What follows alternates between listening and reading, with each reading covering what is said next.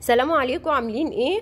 طبعا شايفين الفرق اهو مش هنتكلم بقى هنشوف الوصفة بتاعتنا وهتنبهري زي ما أنا انبهرت.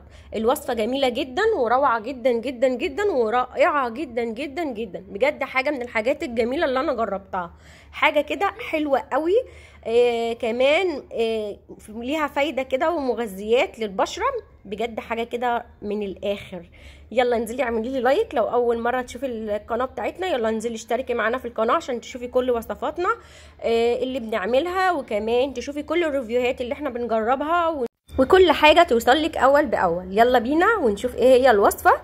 طبعا بصوا تحفة. عاملة زي الكريم كده حاجة كده بجد من الآخر. أنا اتصدمت بجد لما شفت النتيجة. ذهلت آه بتفتح يا بنات درجتين عن بشرتك. بتديكي تفتيح حلو قوي لجميع أنواع البشرة. يلا بينا نشوف إيه هي المكونات. بصوا مش هتكلم بقى. أول حاجة هنا أنا معايا بولة طبعا ده حاجة أساسية. معجون أسنان. معجون السنان بيبقى حلو قوي قوي في تفتيح المسام. آه كمان آه بيدي كده للبشرة شوية انتعاش. لما آه بتيجي تغسلي وشك كده بتحسي إن في طراوة انتعاش حاجة بجد كده بتحسي إن بشرتك بتتنفس. فبجد حاجة جميلة من الحاجات الحلوة قوي في الماسكات معجون الأسنان. آه ليه بنقول بتفتح المسام؟ آه هي بتفتح المسام شوية على طبعا انت كل لما بتحطي ماسك لازم بتعملي قبلها سكراب عشان نفتح المسام ده بقى مش هنحتاج سكراب قبله لأن معجون السنان بيفتح المسام فليه إحنا عايزينه يفتح المسام عشان المكونات اللي هنحطها معاه ده هيبتدي يدخل في البشرة فيديكي نتيجة سريعة وكمان فورية وبتخلي لك بشرتك شبعت من الماسك أو اتغذت من الماسك اللي إحنا هنحطه.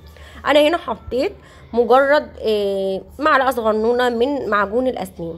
الليمون طبعا فوائده رائعة رائعة جدا جدا في التفتيح وكمان بيطهر البشرة. لو في حبوب قديمة مش حبوب لسه حية. حبوب قديمة بتبدأ إنها تفتح لك البقع بتاعة الحبوب. لو لسه الحبوب حية إلغي الليمون نهائي وحطي مية ورد. بلاش ليمون يا بنات وانت عندك حبوب لسه يعني لسه طالعة. ده هتخربي وشك. بلاش من الليمون لو لسه في حبوب. أنا هنا حطيت نص ليمونة ومعلقة صغنونة من معجون الأسنان.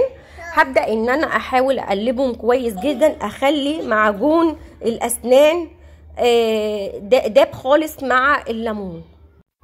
الماسك يا بنات لجميع أنواع البشرة عادي جدا ما فيهوش أي مشكلة. لو انت بشرتك دهنية أو بشرتك بتتحسس من الليمون أو بشرتك فيها حبوب إلغي الليمون وحطي خليها مية ورد. بس عايزة أقول لك إن الليمون من الحاجات الجميلة جدا في تفتيح البشرة. بس طبعا مش هينفع مع الناس اللي بشرتها بتتحسس أو بشرتها فيها حبوب أو بشرتها فيها أساسا مسام واسعة وما بتروحش. فبلاش الليمون مع الناس اللي هي نوعية بشرتها بالشكل ده. آه البش... آه إنما أي بشرة تانية الماسك شغال معاها مية في المية زي أنا بشرتي كده الحمد لله. آه أي ماسك بصراحة بيمشي معاها. وأنا كمان بشرتي ما بتتحسس قوي من حاجات معينة. عشان أنا مثلا هحط كمان مع الليمون مية ورد فمش هيعمل لي حساسية شديدة من الليمون. وده بيبقى حاجة كده بردك من الحاجات الأساسية. الليمون معايا أنا في كل الماسكات بصراحة فده حاجة من الحاجات اللي لازم أفضل أحطها. آه طبعا النشا من أفضل الحاجات اللي ممكن تفتح البشرة وبتنقي وبتفتح البشرة بطريقة رهيبة. أنا خدت معلقة صغيرة آه من النشا مع الخلطة بتاعتي وهفضل أقلبهم برده كويس جدا. من الحاجات على فكرة السريعة جدا في تفتيح البشرة النشا. يعني انت آه لو حابة ان انت بشرتك غمقت من الشمس مرة واحدة آه كنت في مصيف استخدمي على طول ماسك النشا ماسك النشا من الحاجات اللي فعلا بتدي تفتيح بسرعة هايلة وبترجع البشرة بتوحيدها آه توحيد لونها الأساسي. بصوا هنا كده بعد ما قلبته الخليط اتكتل مني شوية. أو مثلا ابتدى إنه إيه يبقى معايا آه ناشف شوية. هنزل بقى أنا عليه بمية ورد. على فكرة مية آه مية الورد دي آه معمولة تونر. أنا كنت عاملاه قبل كده في القناة مية ورد ومية رز. حاجة من الحاجات الجميلة جدا. دايما بدخلها في كل الماسكات. إن شاء الله هسيب لكم اللينك في صندوق الوصف زي ما قلت لكم. هحط معلقتين اتنين برضو علشان عايزة أخلي الخليط لين معايا يبقى كريمي. فهنزل عليها بمعلقتين مية ورد. حطيت كده اهو دي تاني معلقة. مية الورد جميلة جدا برضو من الحاجات اللي بتغذي البشرة وبتفتح البشرة وبتنقي البشرة فمية الورد من الحاجات الحلوة قوي. أنا بقى هبدأ أقلبهم كويس جدا إن أنا عايزاه يبقى كريمي معايا. أنا بحب اعمل الماسك كده يبقى اول باول حاجة بسيطة كده بس اللي هو يكفي وشي يكفي ايدي مش أكتر من كده عشان ما نهدرش مننا ونقعد نرمي وخلاص. ان هيفيد مننا ده هو مجرد وشنا بس اللي هنعمله. فده بصراحة بيغرقني أصلا. آه كده خلاص. بصوا بقى ده الكريم بتاعي واللي أنا عايزاه ده القوام المطلوب.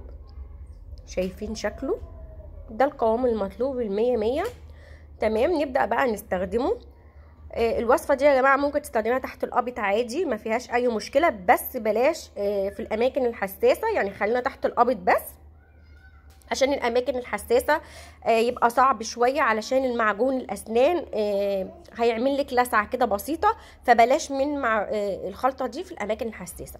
خلاص أنا بصوا حطيت حتة كده صغيرة عشان بس نختبر النتيجة. بتسيبيها حوالي عشر دقايق من عشر دقايق لربع ساعة واسيبها لغاية أما تنشف خالص. يعني أهو. أهو ابتدى يظهر معايا النتيجة أهي. شايفين؟ بصوا بصوا الإيد من دي ومن دي. أنا عملت إيد واحدة بس عشان النتيجة تبقى آه واضحة. هبدأ بردك أعمل ايدي كده قدامكم كلها عشان تبقى إيد وإيد علشان تشوفي النتيجة قدامك. وأسيبها برضو ربع ساعة. أنا عملت بصراحة الخلطة دي جالي ذهول من النتيجة فعلا روعة جدا يعني. بجد من الحاجات اللي جربتها في التفتيح حلوة قوي. بصوا أنا كده أهو غرقت إيديا.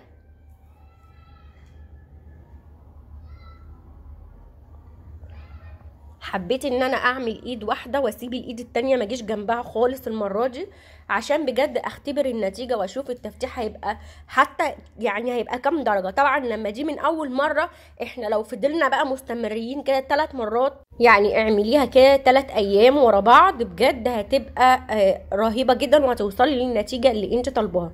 هسيبها بقى ربع ساعة براحتها كده لحد ما تنشف أروح أغسلها. وبعد كده دي النتيجة بجد أنا مصدومة يعني الوط... الإيد واضحة والفرق واضح شايفين؟ بجد كده هيعجبك جدا. باي باي.